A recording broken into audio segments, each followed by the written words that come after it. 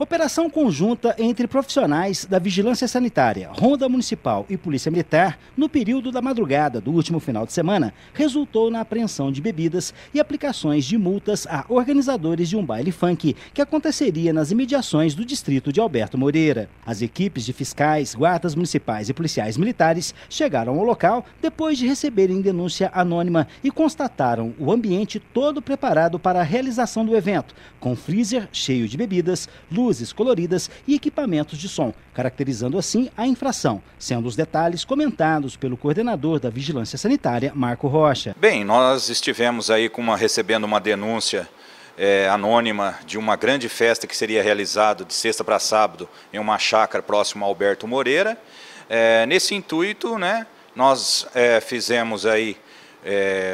uma solicitação de apoio, juntamente com a Polícia Militar e na Ronda, e fomos fazer essa fiscalização. Os trabalhos de fiscalização se estenderam para as feiras livres, onde, segundo Marco Rocha, a situação está sob controle, havendo a conscientização de comerciantes e consumidores. A feira nós estamos sempre já há vários meses aí trabalhando com orientação preventiva. As pessoas ali das redondezas da Feira do Bom Jesus, as pessoas que frequentam a Feira do 9 de Julho, estão bem conscientes e estão usando de maneira preventiva o uso da máscara, os feirantes estão com álcool gel e todos estão colaborando, nenhuma incidência mais grave. Outra informação importante destacada pelo coordenador de fiscalização reside nos restaurantes e afins que trabalham com o sistema de self-service, que voltaram a ser permitido por meio de decreto. A questão do self-service está permitida nos ramos de alimentação, como restaurantes, pizzarias, e esse tipo de de maneira de servir, nós também estamos orientando de, qual, é, de como se proceder